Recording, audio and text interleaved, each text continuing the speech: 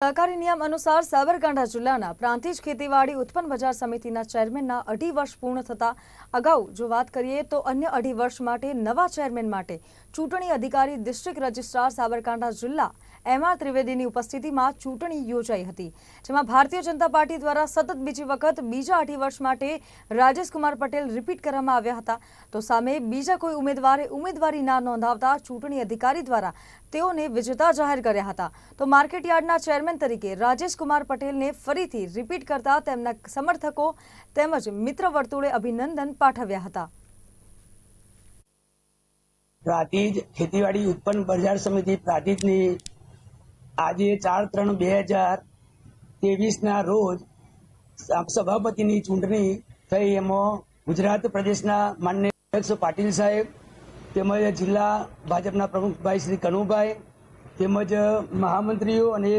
ભારતીય જનતા પાર્ટીના સર્વે આગેવાનોએ જે આજે મને માર્કેટ યાર્ડના ચેરમેન તરીકેની જે મેન્ડેટ આપવામાં આવ્યો અને બોર્ડ ઓફ ડિરેક્ટરોએ જે સર્વાનુમતે મને વધાવી લીધો, એ બદલ હું બોર્ડ ઓફ ડિરેક્ટરોનો તથા પાટીલ સાહેબ તેમજ જિલ્લા અધ્યક્ષ કનુભાઈ પટેલનો ખૂબ ખૂબ આભાર માનું છું અને આજે જે સર્વાનુમતે મને જે બનાવ્યો, એની અંદર હું એટલું તો કહું છું ચોક્કસ કે જે પ્રાતિજ માર્કેટનું જે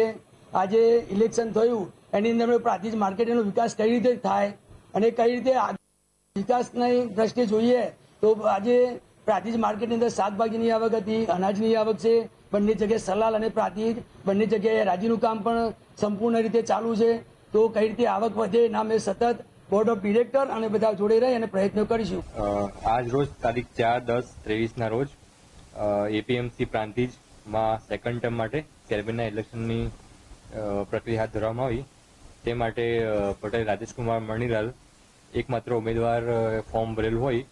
બીજા કોઈ અન્ય ઉમેદવારે ફોર્મ ના ભરતા, પટેલ રાજેશકુમાર મણિલાલ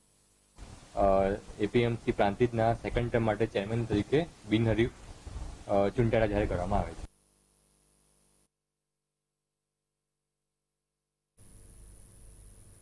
તો ઝારખંડથી આદિવાસી સુરક્ષા યાત્રાનું આયોજન